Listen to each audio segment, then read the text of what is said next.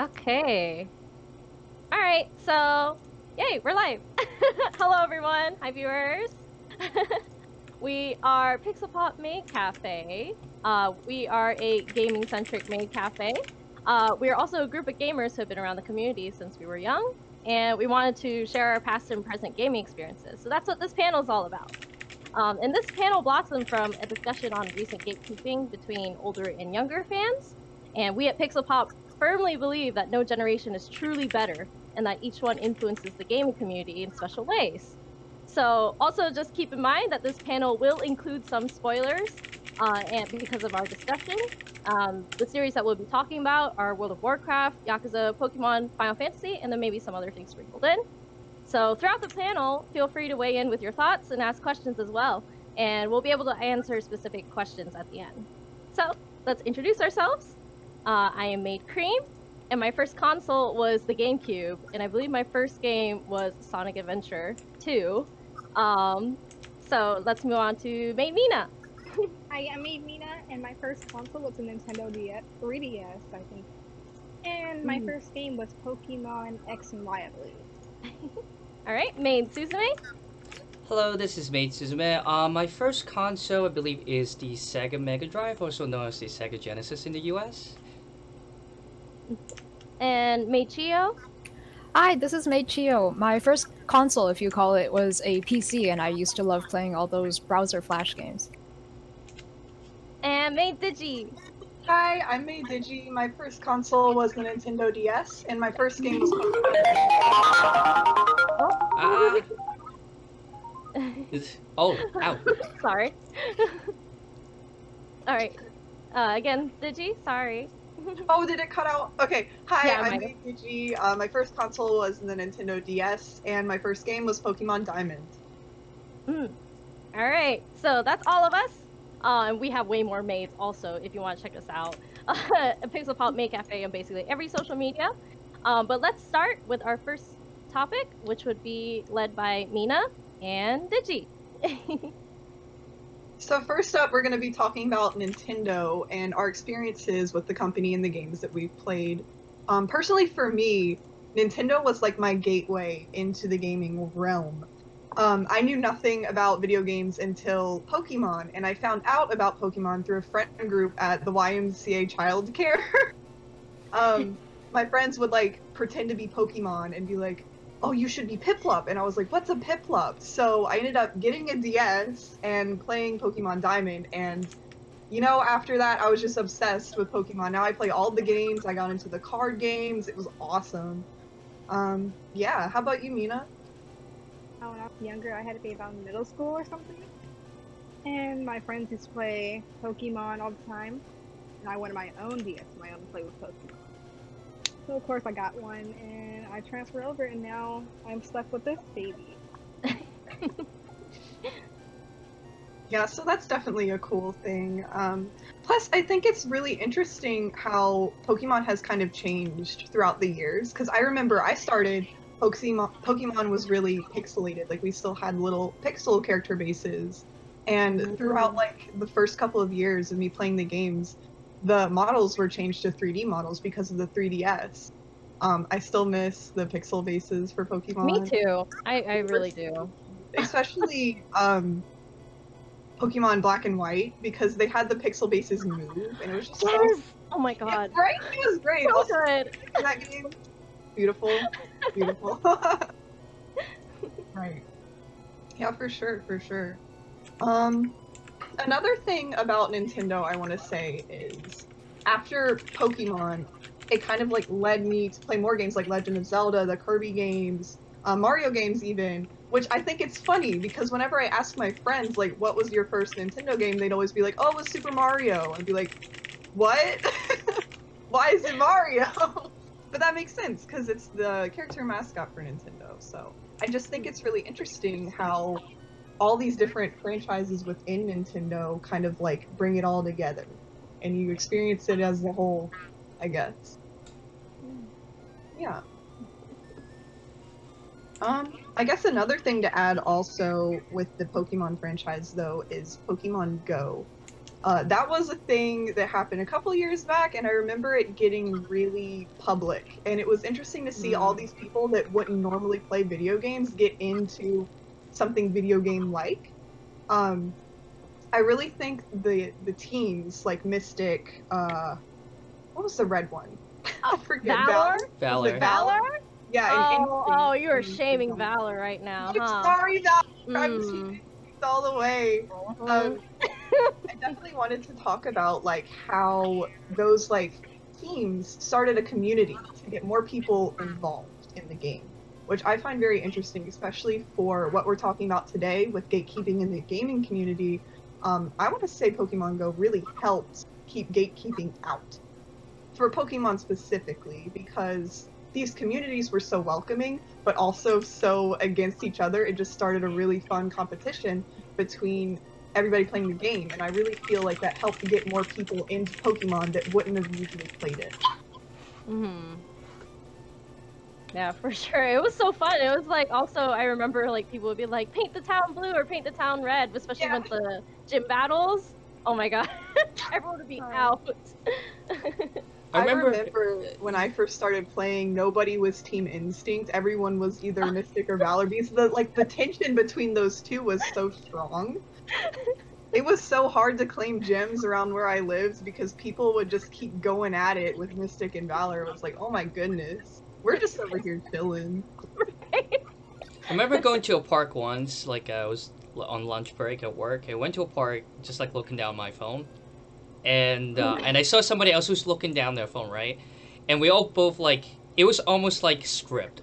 We both look up, and then we made eye contact like right at the same time, and then I just like said, "Team Instinct," and then he looked at me and said, "Nod," and I was like, "Nice," and we kind of like shake each other's hand, and then we just like go by our own way. That was a really cool moment. It was it was it was really lovely. It's just such a great way to make friends, I feel. Um, because again, it's like you feel like you're part of the community when you're part of the team. And like you get that kind of bonds like, hey, I'm Team Instinct, you're Team Instinct. Look at us. Who would have thought? Wait, so what teams were, were you guys all on? Like, I was Valor, so. You were, I was I'm so sorry I disrespected you. I forgot your name. I apologize. so we had no mystic in here. I'm a mystic. Oh, you're a mystic. Okay, there we go. We got all three. oh my gosh. Yeah, it was really. It, it was funny though because it's like you had half, uh, like I guess like people that didn't know Pokemon. Like when they went outside, I remember distinctly. At, I went out to a town center, and then everyone was on their phone. And then like I hear some adults like, "Gosh, look at this." uh, Look at this new generation. Everyone just looks at their phones. I was like, you don't understand. We're all connecting to each other because there's a Pikachu right there. I remember I probably went outside more that summer than I ever had. life. it was just great. Plus, I found it really cute how parents would take like their kids out to play Pokemon Go, like the ones that couldn't drive yet. You know, it was like a fun family bonding activity. yeah. Really nice.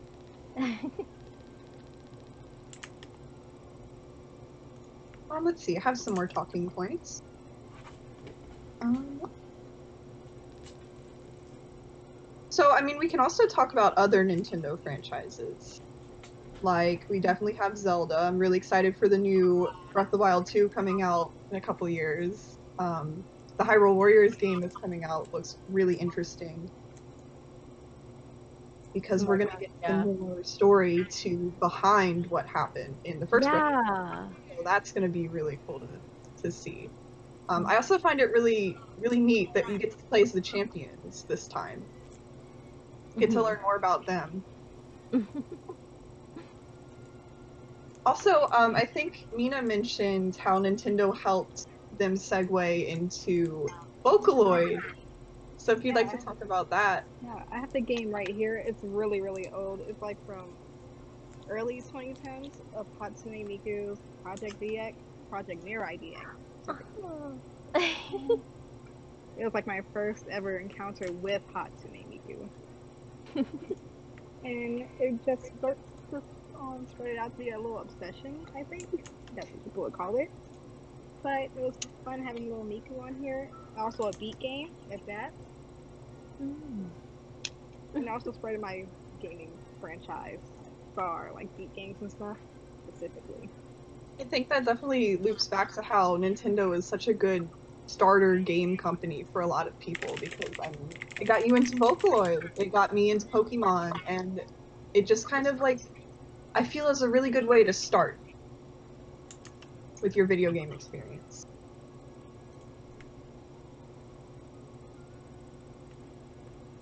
Anybody else have like any Nintendo games that kind of started them? Hmm. I mean, I was yeah, Pokemon when, when it was like still pixels. I still like uh, I wasn't really the Game Boy generation, but my sister was. So I would uh, that was like kind of my experience with that. But like my first experience was definitely uh, the Game Boy Advance, which that one was in color. Apparently, the ones before were black and white. Yeah. So yeah. Yeah, that's fun that you brought up your siblings because me and my brother, we would always like fight over which of the Pokemon games we would get based on the legendary box art. Oh I feel like yeah, the yeah. biggest thing that happens to a lot of siblings that enjoy the Pokemon games. like, okay, well you got to pick this one last time, so now it's my Mhm. turn. I get to choose the legendary I want. hmm But it's also interesting to see like the games that I started out with and then the games that he plays now. Mm-hmm. because I started with Pokemon Diamond and he started with Sun and Moon, so there wasn't the pixels anymore. Um, it was all modeled, and um, even I feel like the world exploring was a little different because it was more like an open world kind of. Mm, Whereas the yeah. other games, you just kind of get your screen, and then it's kind of you don't have a camera moving around. Mhm. So I find that really interesting to think about because it's not like we have a 10 year difference. Mhm. It's literally over the span of like four or three years, and everything Yeah. changed so much. Mm.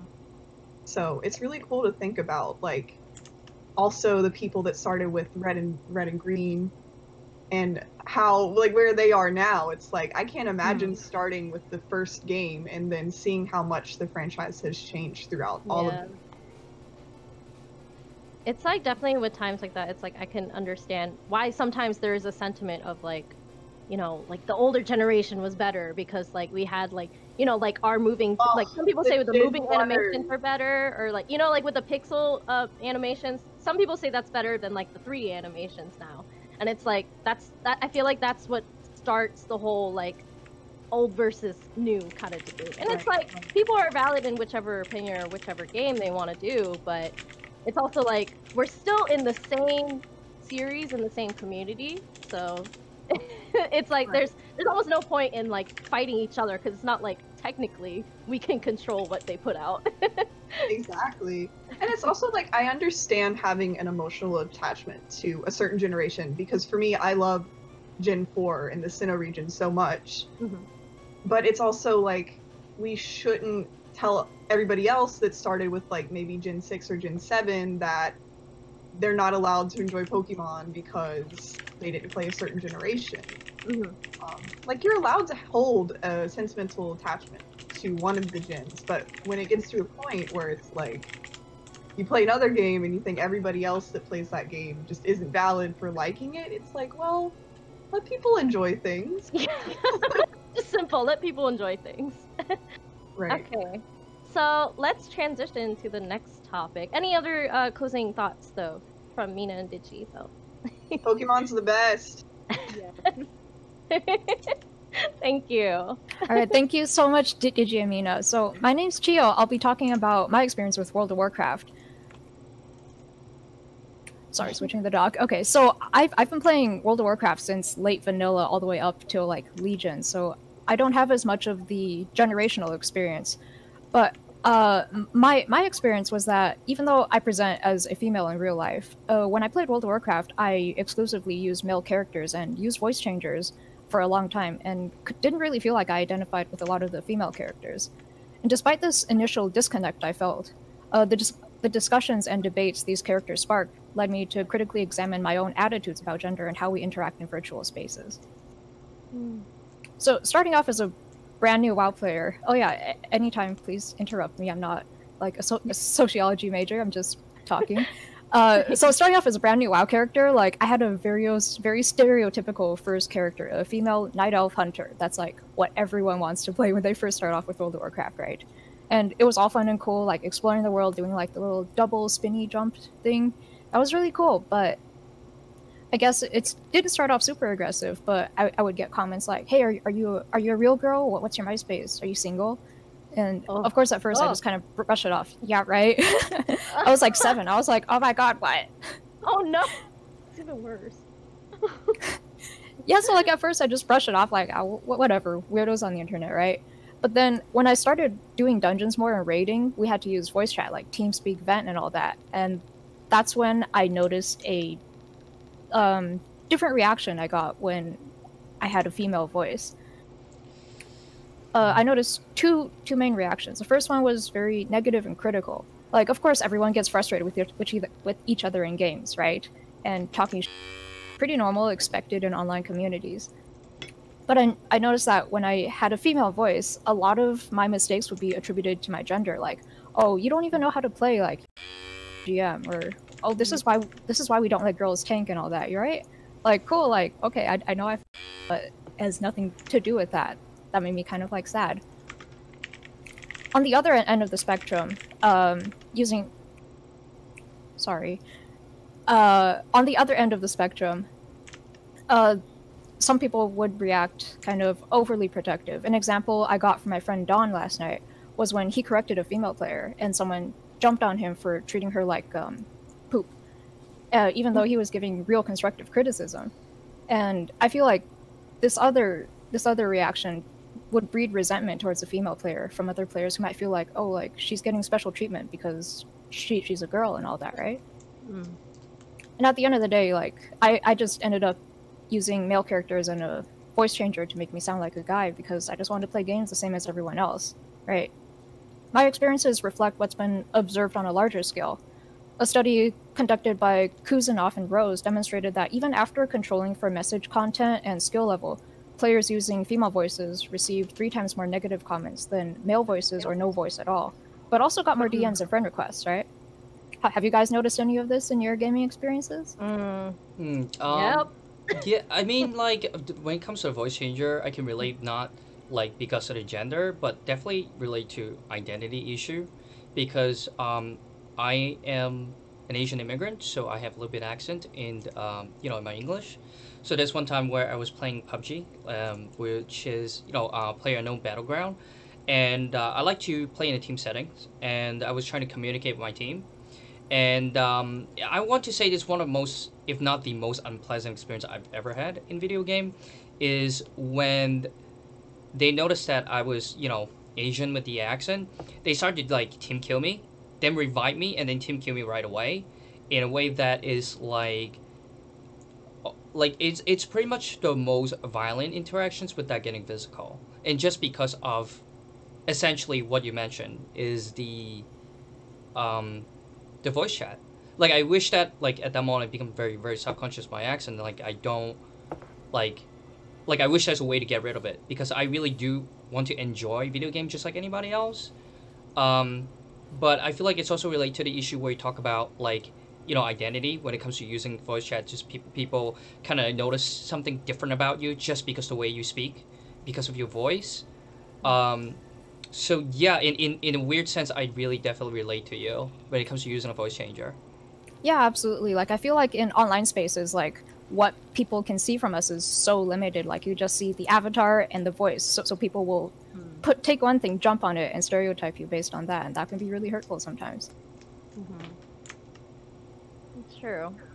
I mean, also with like, uh, you know, just like female gamers in general, like, you know, there's still such like a stigma against it, like you're saying. It's like, uh, even in uh, like, I- I'll get into uh, my Yakuza topic later, of course, but like, uh, a lot of, I see uh, it's common, not only in the Yakuza series and other fandoms, that a lot of uh, gamers would say, "Oh, this this fandom is getting ruined by all the female gamers or whatever," because it's like they're interpreting something a lot more. They like, you know, they're liking a character um, for how he looks, and they're like, "Oh, you just like him because he looks like sexy or whatever." And it's like you don't appreciate the game, but it's like, well, you could do both, or you could do one or the other. So it's like, why is it just the female gamers? Right, right. Plus, I think having discussions about what you think about the characters is super important for, for the community. Like, for example, um, in in the Blizzard universes, uh, I had a lot of trouble at first relating to a lot of the female characters. Like, for example, Kerrigan from StarCraft Two. She, she's at first presented as a really powerful enemy, but then like I felt like in StarCraft Two, she's kind of turned into a vulnerable damsel in distress. Um, like in Heart of the Swarm, she kind of flip flops between like chasing after two men being with Raynor and then getting revenge on Mengsk. And I just felt like she wasn't relatable anymore because her actions felt irrational and her motivations were super. Oh, cream. Oh, Mm. welcome back. Mhm. Right, Oh. so I feel like characters are so much. Oop. Sorry, we good? Yep, we good. Okay, sorry. So I feel like characters are so much more interesting when you can understand where they're coming from, why they're making the choices they're making, and you feel invested in their outcomes, right? Kerrigan in this example becomes what Anne Stickney refers to as a barnacle character, or a character whose entire existence is dependent on wrapped and wrapped around the existence of another. While this definitely isn't something that happens to exclusively female characters, we see this a lot in Blizzard's writing, where characters with amazing potential are relegated to just being a romantic interest. But of course, not everything in my World of Warcraft experience was negative. A, a really good example of a character kind of unbarnacly was Jaina Proudmoore, in my opinion. She starts off as like the typical like ooh like nice princess and a love interest for Arthas, but when he descends into madness and becomes the Lich King, like she she's hurt, of course, that's normal, but she doesn't just give up and end her story right there. In Wrath of the Lich King, she plays a major role in defeating the Lich King along with the players, and of course, she's played with regret and insecurity about the role she played in Arthas becoming the Lich King, and in the end, when we finally defeat him, she bursts into tears. Mm. However, like, caring about Arthas was not her only motivation or defining characteristic, and she has continued to be in the WoW universe, have meaningful interactions with the rest of the characters, and play a major role. And like growing up, I really hated this expectation I felt that female characters had that no matter how powerful and influential you may be, your ultimate fate is to just find a partner, settle down, and then the universe is like, oh, okay, you like fulfilled your job, just go sit in the corner as like an NPC, right? mm.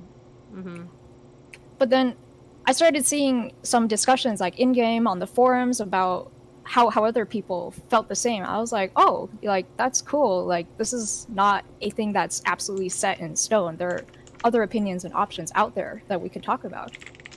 And acknowledging and discussing issues you might have with popular characters can be really uncomfortable because, of course, people are going to get heated. Not everyone agrees with you. Everyone has different opinions, right?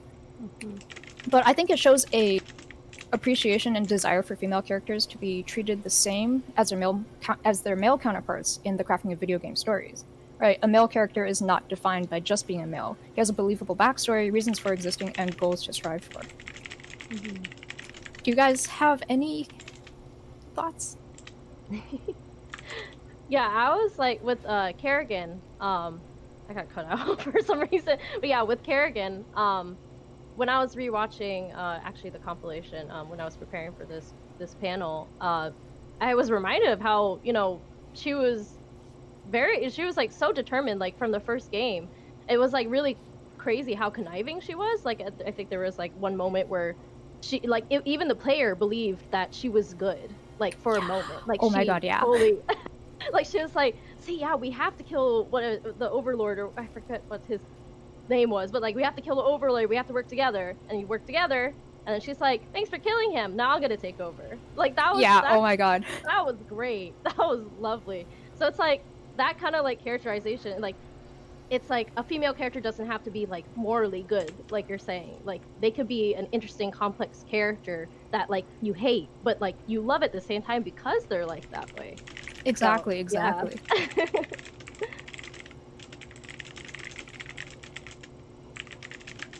Okay, so yeah, like my, my experiences are kind of limited on the gen- generational aspect because I've been playing since the beginning. So you wanted to talk about Yakuza and the influence of starting at Hmm. different generations, right? Yeah. so yeah, all that. So yeah, let's talk about Yakuza. Thank you for sharing your experience also, Chiyo. um, so yeah, I'd like to switch gears into a recent fandom I got into, which is Yakuza, or Ryuga Gotoku, which translates to like a dragon. And I recently started streaming Yakuza 0 for Pixel Pop. Um, but I did finish uh, Yakuza 0 through 6 already. Um, and actually, I finished 6 like literally maybe two weeks ago. um, I'm also familiar with Ishin, thanks to the translators on YouTube. So yeah, like I, I really trudged through all of Yakuza. Um, and Yakuza is a beat 'em up action adventure game, and it centers around the ex Yakuza Kiryu Kazuma, and he deals with various issues involving his old Yakuza family, which is called the Tojo clan, um, through every game. And if anyone is familiar with this recent trend, this is also the source for the recent Baka Mitai meme or the Dame Dame meme.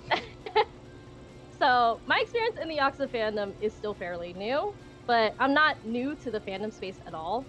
I've probably been in fandom for like over a decade, maybe like I don't know, maybe like 14 years or so. Um, so I've seen how various fandoms work, and almost all of them are pretty much like same in the end. Uh, so so far, I really love being part of the Yakuza fandom because, I mean, in the first place, fandom to me is about connecting with people and like finding a space for myself that I can express my love through anyway. And I have so much love for this series. Um, and like I express it through like you know character analysis, artwork, cosplay, stuff like that. Um, and I connect with people that also do the same thing. Um, and I would say that since I played through all the games in just two months, I definitely don't have the same experience as those who have been waiting for like years and years for like Kiryu's story to finally come to an end. So basically, I would still call myself a newbie, but I like to bring up the uh, fun of fandom, obtaining new fans, and fostering a place that welcomes both new and old fans. So, for a bit of history, uh, Yakuza 1 and 2 were released in 2005 and 2006 in Japan. And then for the English release, it was released in 2006 and 2008. And then now recently, Yakuza 0 was released in 2015, Yakuza Kiwami in 2016, and then Yakuza Kiwami in 2017 for Japan. For the English releases, uh, Zero and Kiwami both released in 2017, and then Kiwami 2 released in 2018. So, I primarily highlight these two games because as a recent fan, I observed the term the Kiwami crowd being passed around. This refers to fans that have only played these three games, so Zero through Kiwami 2. Um, and Zero through Kiwami 2 are, are available on Steam, while 3 through 6 are not. Um, and Ishin is still uh, doesn't have an English localization. Um, there's several reasons, there are several factors as to why Zero through Kiwami 2 are the most talked about, and the biggest is that they're the most recent remakes. And the original Yakuza 1 sold over 200,000 units in Japan in 2005, and they also shipped almost 350,000 units as well. Uh, and Yakuza Kiwami 1 and 0 were the top two best selling games in Japan during their release week, and it reached best selling new releases of the month on Steam. So they were very successful. Um, but also, Yakuza 0, the prequel to all the existing games of the series, was very, very well received. As for June, uh, like as of June 2015, Yakuza 0 sold over 500,000 copies in Japan and Chinese speaking regions of Asia. And then the UK, Yakuza reached the eighth top selling game in a week in January.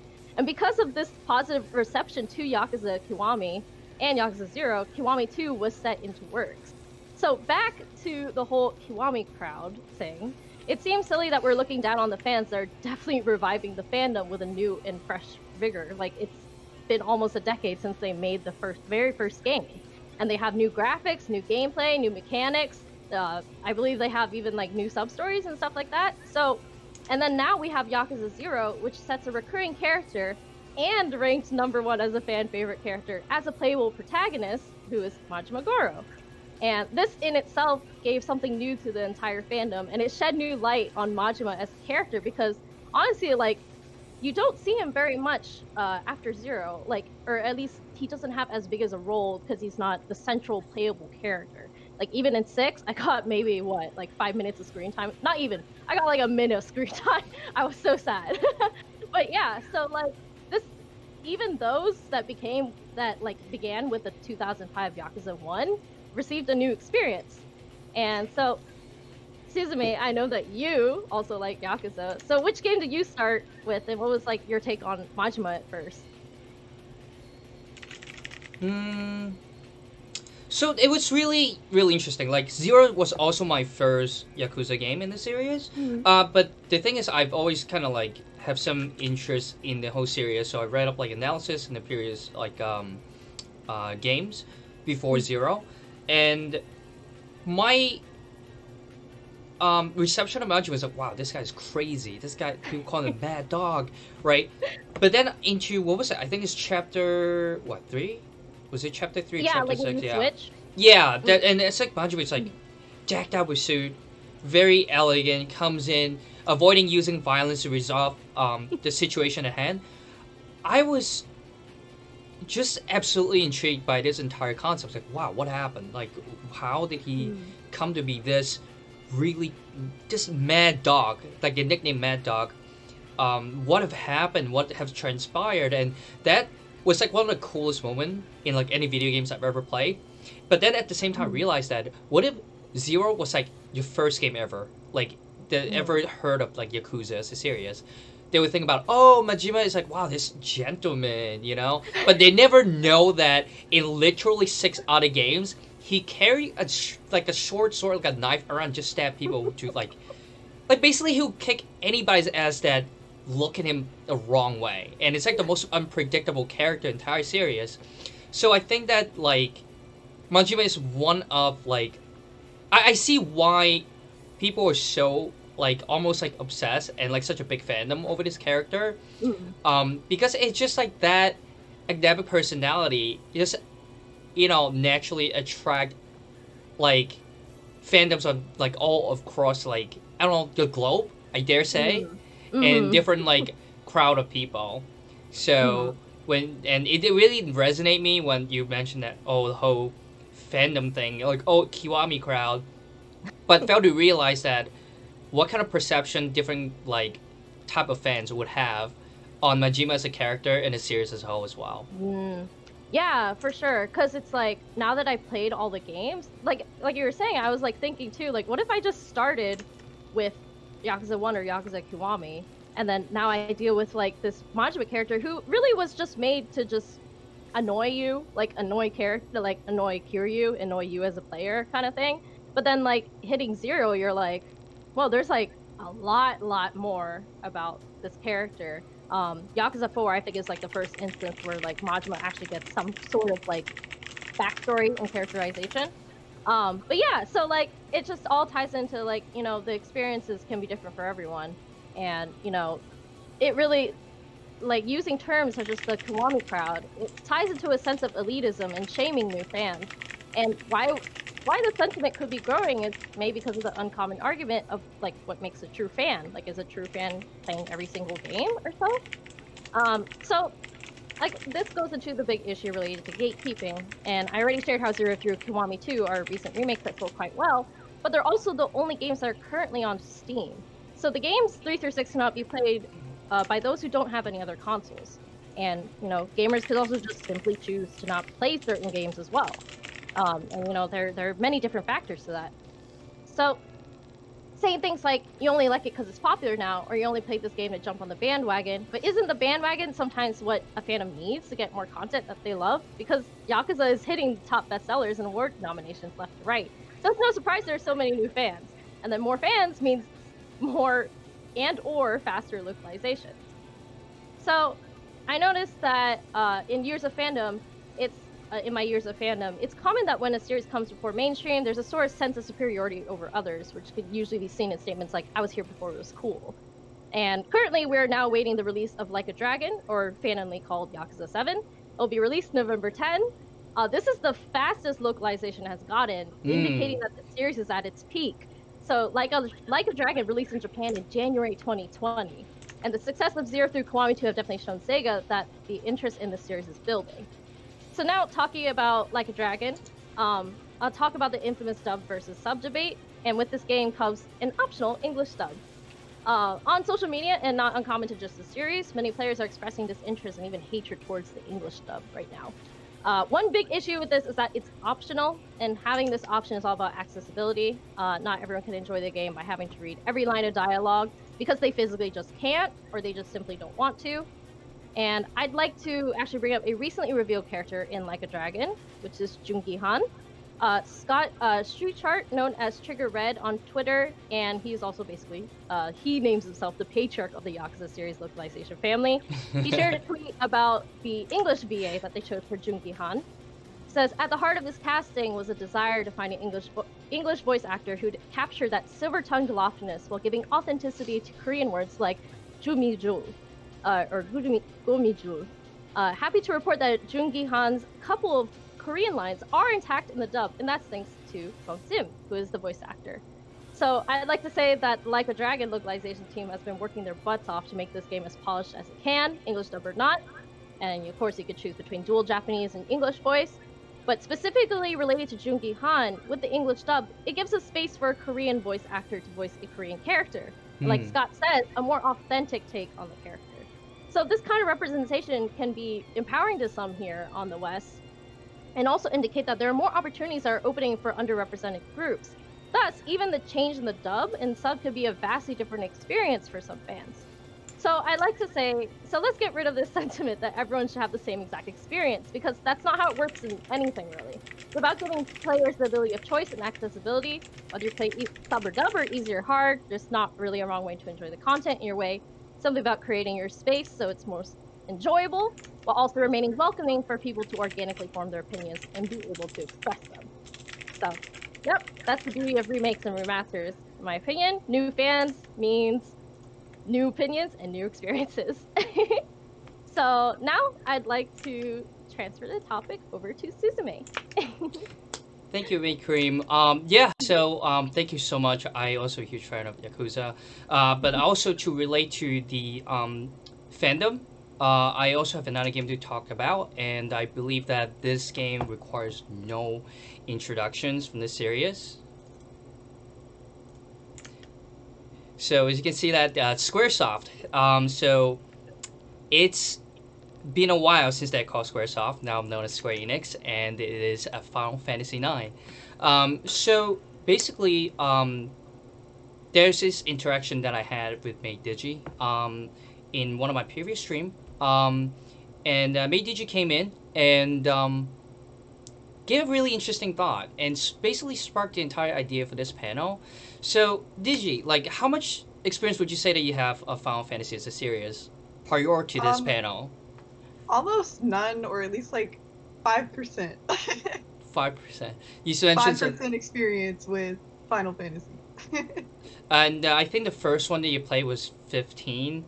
right. Right. So it was really interesting because one of the first impression uh, they gave uh, they gave me on Final Fantasy IX said, "Hey, it looks like Pokemon." So I'm sure that at the beginning of the panel, you guys have got an impression that uh, Pokemon's Digi's favorite series. So at first, I admit that I almost fell into the trap of like gatekeeping between like new fans and old fans that Cream mentioned previously. Uh, like I almost just like want to bad words like you can't catch Pokemon in this game, but like there's like almost no way like that could have come out in any other way, but at least like a little condescending. Um, but like instead, I took a moment to like think about it. Right, uh, perhaps this is Digi's first game outside of 15, which turns out to be true. And 15 was like very action packed, chaotic, and stylish, and while nine it's a very slow pace um it, it's it's very faithful to the root of the series. And i can see like how it can be so like completely unrecognizable and jarring to newcomers of the series. Now um Digi, i have another question for you right? So let us know like what why did like pokemon came to your mind when you saw final fantasy 9 when i was streaming it want to say it was mostly because of the turn-based um, battle scene. It because Pokemon is also turn-based. So when I saw it, I was just like, wait a minute, this is just like Pokemon, but no Pokemon. Wait a minute. Yeah. So Yeah. Uh, so that was like just basically the interactions got, kind of gave me a perspective, right? That I never had for a game that I've loved for quite literally 20 years. And for me, it was a really beautiful moment because like, oh wow, like I'm still finding something new about the game after all this time. So kind of like one thing led to another. I start introducing them to this series uh, from the very beginning, right? We we look at the gameplay and we found more, even more common things between Final Fantasy and Pokemon. Now maybe I was previously oblivious, uh, oblivious, but like this is definitely good, like a new perspective for me, right?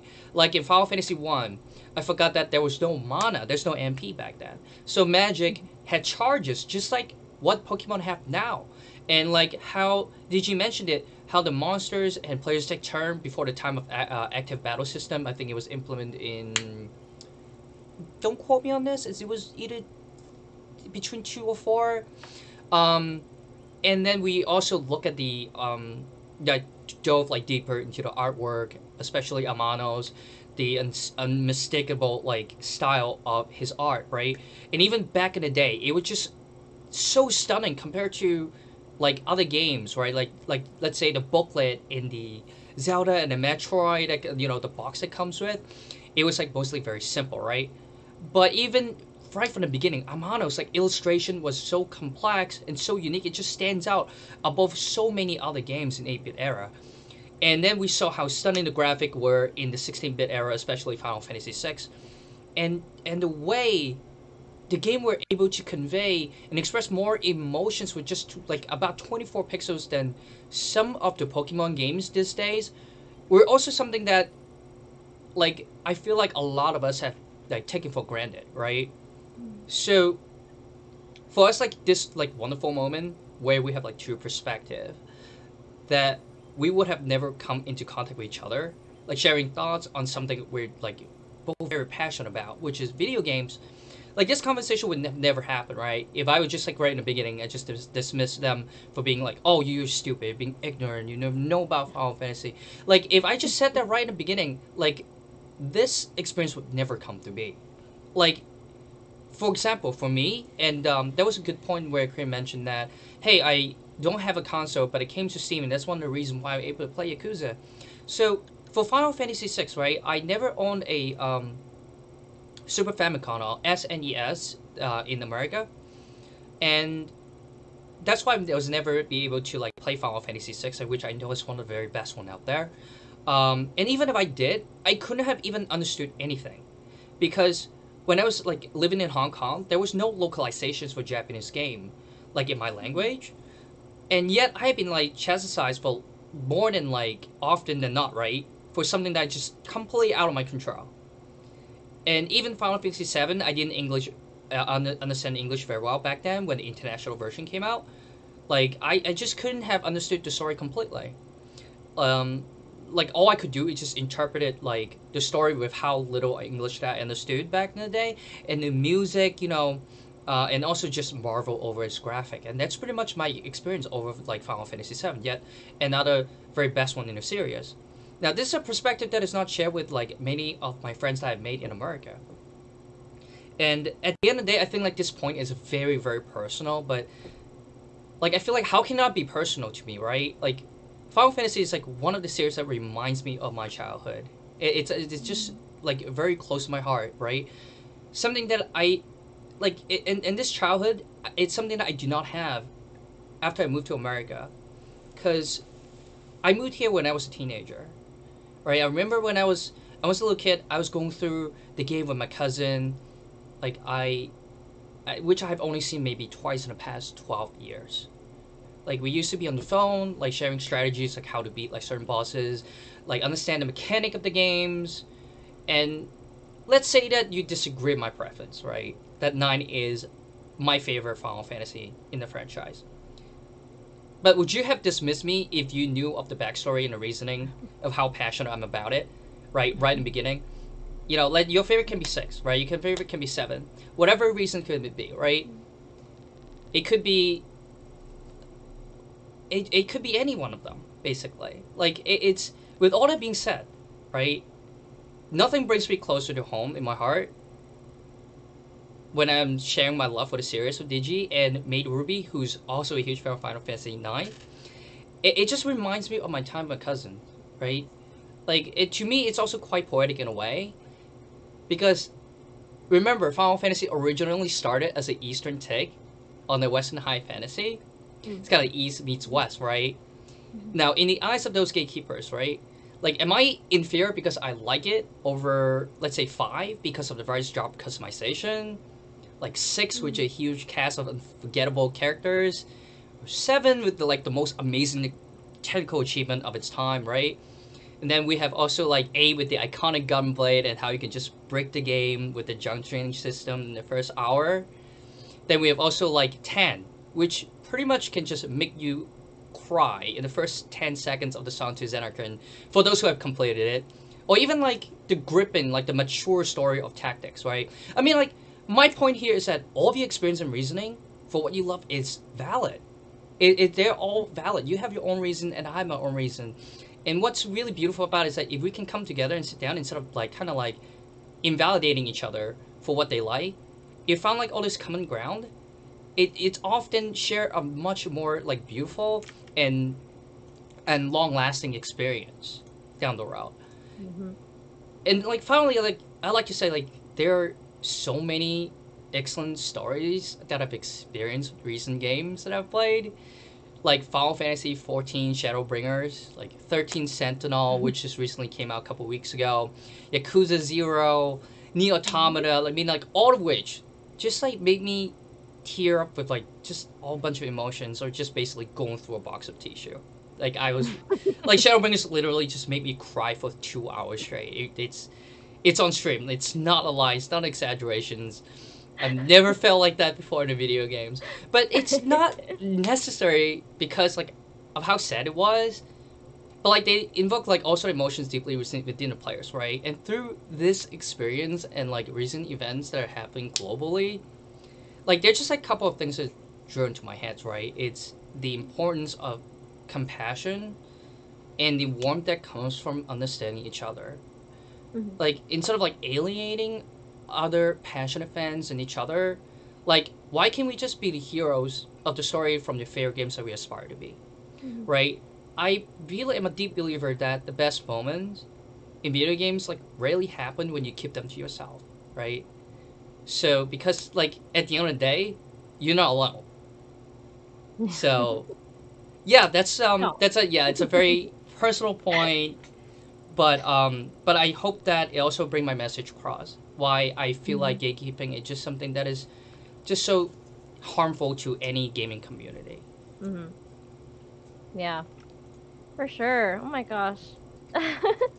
I love that though. It's like, yeah, we're Yeah, all that so connected. That's why we're all here in the Maid Cafe. Like we're all gamers here. Ooh, we. Yeah. No. Uh, but I'd love to basically, I guess, conclude on that as well. You know, like really, like the beauty of fandom is the fact that like whenever a a series can provide so many different experiences and perspectives and attract a variety of people, it's evidence that it's so beloved. And you know, like like you said, it does like your experience is different from mine, and in it and in the end, we're all here to be entertained and experience something for ourselves. And through fandom, we can find people that connect with us and how and like connect with us like we connect with the game, and then we can curate those spaces like from there. You know, so it's just as long as the series remains memorable, uh, there'll always be new conversations and relationships to spark. Yeah, so that's my conclusion as well. Um, do you guys have any thoughts on that too? Uh, my, my takeaway is pretty similar to yours. Like, just like yeah, Mhm. like online, it can be really easy to forget that there's another human on the other side of the screen. So we, we should all we should all try to remember that hey, like the other person on the other end of the screen has their own unique experiences and story as well. And we should always try to have conversations and connect with people as individuals. remember to follow us um, on our Instagram and also our Twitch channel. Like uh, we have a relatively steady schedule. We're trying to stream about two to three times a week, um, rotating from between different mates. And right now, the Spooktober stream is on. So we will Screen um, Scream. the Scream stream. So we will release the schedule. Uh, I think on a week by week basis, right? Because we have a new schedule for the upcoming week. Um, yeah, and we yeah. have one more stream for this coming week also. Right. So like we pretty much trying to like keep in touch with our fans as often as possible, and eventually uh, we'll open up uh, again our public Discord channel, so that we'll also keep in touch with everybody during this trying time where we can only see each other faces through cameras. yeah, we play Among Us and stuff. yes, yesterday we did play Yeah. Among Us. Yeah. Um, and then if you guys want to yell at us in the chat anytime about anything that we like we talked about today, or even more, then yeah, totally hit us up on our Discord. Slide through for memes. And thank you so much for being here with us today. It was really, really exciting to talk about like such a topic that we're so passionate about. So yeah. And we'll leave you with a blessing for you all, because that's what Maid Cafes do. all right, ready, guys? Yes. All right. Pixel, so pop, Pop, power. power. Power. up. Uh, Uh, right, Thank- thank you guys. Thank you so much. Guys. Thank Bye you. bye now. stay hydrated.